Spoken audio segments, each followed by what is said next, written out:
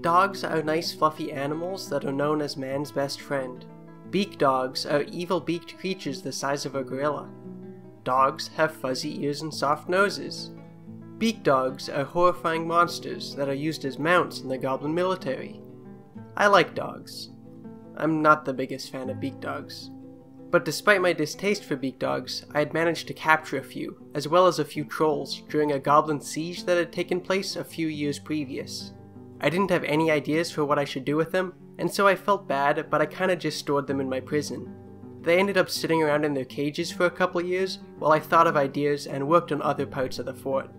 But after a while, I wanted to clear space in my prison, and so I half heartedly turned them into a zoo of sorts. But not really the kind that anyone wants to go to. Allegedly, some dwarves like beak dogs for their beaks and hunched backs and off putting chattering noises. But let me tell you, that seems to be a pretty rare opinion to hold. The zoo was not attracting any visitors at all, and was beginning to feel like a waste of space, so I went back to brainstorming once again. For a while I was stumped, but then a couple days ago it struck me. What do dogs love more than a dog park?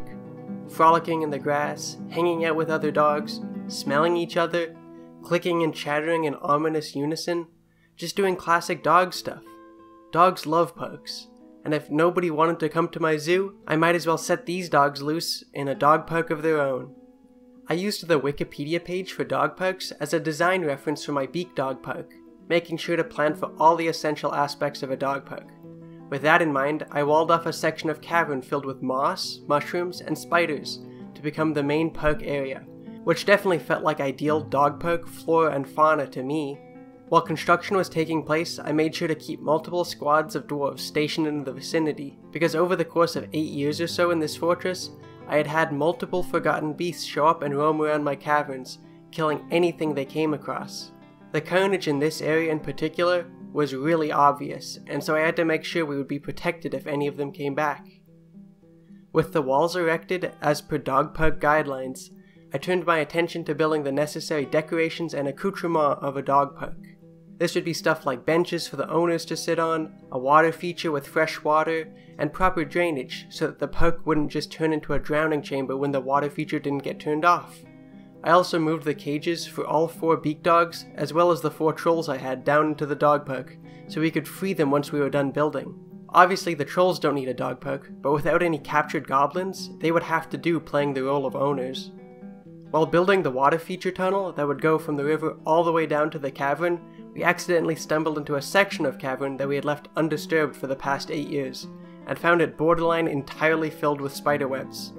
It turns out that the webs were the least of our worries, though, because as soon as we found the cavern, a forgotten beast arrived to cause trouble. It was a massive beaver with no eyes and two tails, and it dashed for the opening to our fort.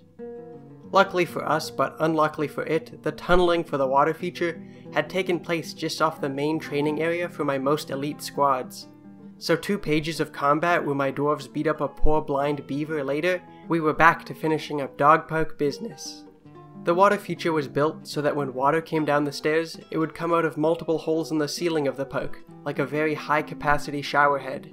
And the drainage tunnel was constructed going to the edge of the map, with fortifications carved into the edge to allow the water to pass through.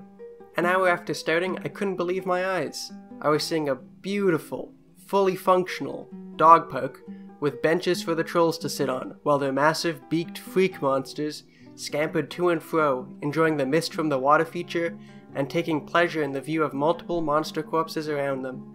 When I saw the way they pranced around the park, I knew I had done the right thing. Dog parks should be for all dogs, even the ones that are entirely unrelated evil monsters that just have the word dog in their name. Of course, the trolls immediately ruined it by smashing all of my grates and benches. But I just had to remind myself that I don't do it for the owners.